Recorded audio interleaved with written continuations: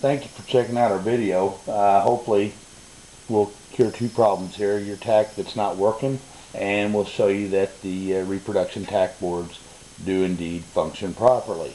Uh, what we've got here is we've got a 78 to 82 tachometer. Uh, first thing we've done is we've actually removed the uh, old tach board and we're going to remove the needle. Now bear in mind I have 10 minutes to pull this off. To pull the needle off you just want to gently tug upward on the needle and it comes off. Now sometimes the little spindle that the needle rides on will pull up with it so you just kind of want to push down on it with your thumbnail and you know if you feel it move don't worry about it. It's floating in a little oil canister. Uh, it's not going to hurt anything but if it's outward when you after you pull the needle off it will hurt it will uh, mess the tach up in the operation of the tach so uh, basically what you want to do is you get the, get the needle off you set the tach down now there's three studs that you have to use there's three bolts and nuts that you have to use off the original board these three bolts are the ones that actually pass through the board into the uh, uh, circuitry or the uh, clips that hold the printed circuit on a 78 to 82. The guys that own the uh, uh, cars for the 75 to 77s, uh, they don't have it so easy in getting their tachometers out. 78 to 82 guys, it's a breeze. We get asked constantly how to get the tachometer out and people take the whole cluster out. Now what I'm putting in is called the signal stud. This is the stud that goes through the tach board and attaches uh, or brings the signal into the board. The top hole is your uh, power stud and you want to put it in and you want to skip a stud. Whatever you do, don't put don't put your next stud in this hole right here. There's an empty hole, it's always there. Go to this hole right here and put your third stud in, which is your ground stud. Once this grounding stud's in place, then you're ready to put, I got the nut on backwards. Well, let's put it back on the right way. Okay, so we're going to put that on, and we're going to tighten that down, and you just snug them up to where they're good and tight. And you set this aside. We're going to put our three washers in place. The new tach boards, when production is done on them, will not have these washers they will be incorporated into the board. Uh, I think the main theory here is to debunk the myth that uh, the tach boards with washers don't work. They work. If the boards come from us, we test calibrate each and every board that comes through us. So I don't know what other vendors do. It's not my problem. But I know what we do and we check them. So we know our boards are pre-calibrated. We know our boards are working. Now there's always a possibility that a board might get damaged in shipment. Uh, there's an adjustable potentiometer on the side of the board that adjusts the signal. Uh, there's a chance it could get hit while it's being installed. Uh, there's a lot of things that could happen. Uh, if you don't uh, think the board's right, it's always smart before you install it to pre-test it. You can do that by running 12 volts to this stud, a signal wire from your distributor right to here, and run a ground to here. Put a dwell meter on it and check it and see what it's reading. If it's not reading correctly, that is the potentiometer right there. I don't know if you can see it or not. That's the potentiometer. You can dial it in a little bit one way or the other. Now we do have a signal generator that we've uh, made in-house uh, it is for sale if you want to buy it. It's at uh, you can buy it at WillcoxCorvette.com. There's two L's in Willcox. The signal generator will put out a 700 RPM signal, a 2000, a 3000, and a 4000 RPM signal. Uh, I don't think anybody's going to be running down the highway at higher than 4,000 RPMs, although there is that possibility. A lot of people like to drag race. And now, with every tach board you buy, anytime you put a tach board in a, in a, in a car, you have to zero out the needle.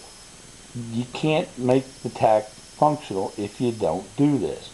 The simple way to do this is from your car, you can run 12 volts from your alternator uh, or from the battery and power up the tach with the wire, 12 volt wire placed there, a ground that gets placed right here.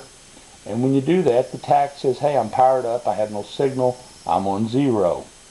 Okay, so then if you set your needle back on there, you just set it on there gently.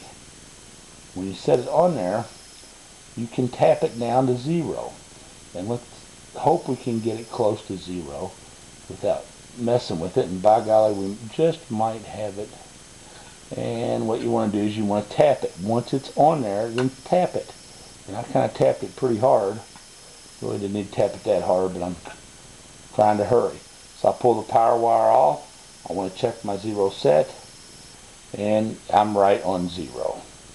So the next thing I want to do is I want to power up Frankenmeter, which I'm not going to go into how it got its name. It's actually Frankenmeter 2, by the way.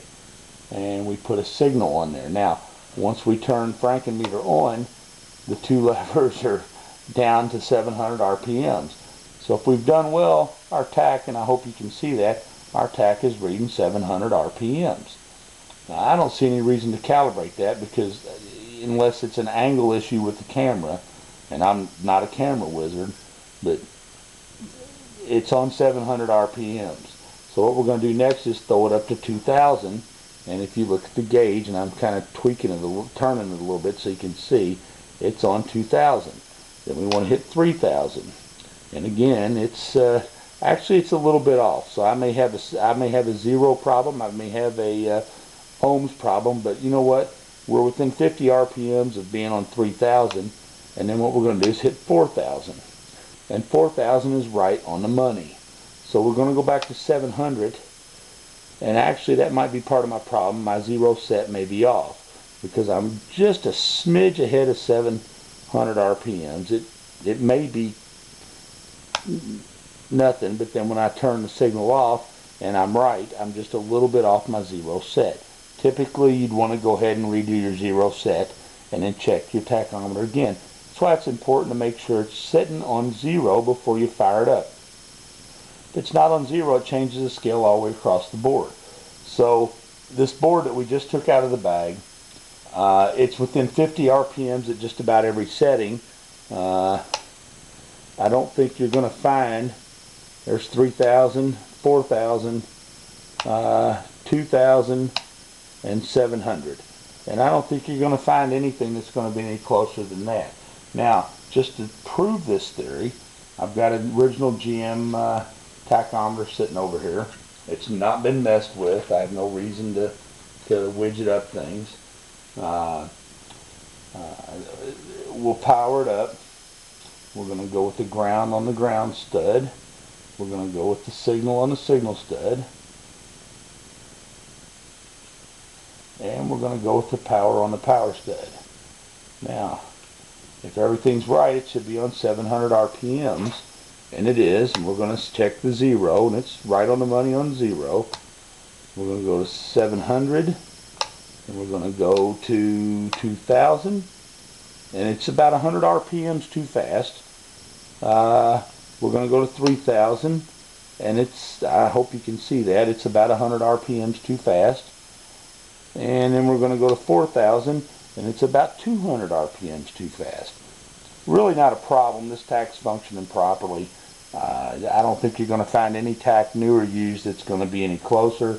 I think we got lucky. I didn't have to calibrate the uh, uh, reproduction board. I think that tach is uh, actually more accurate than the original GM tachometer. Uh, once again, if any have any questions, anybody has any questions, feel free to email me uh, direct. My email address is Willcox Customer Service at willcoxcorvette.com. Uh, feel free to send any emails you want. If you're interested in the signal generator, uh, you can purchase that off our website. Uh, thank you and have a good day.